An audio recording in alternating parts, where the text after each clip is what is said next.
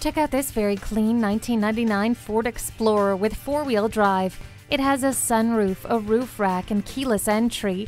This Explorer is nicely equipped with a 5 liter V8 engine, anti lock brakes, and a trailer hitch receiver. Plus, you'll get running boards, steering wheel controls, and heated seats. You don't want to miss it. Come see it for yourself today. At Rochester Car Clearance Center, you get our best price, bottom line. We are conveniently located on Highway 14 West near West Circle Drive.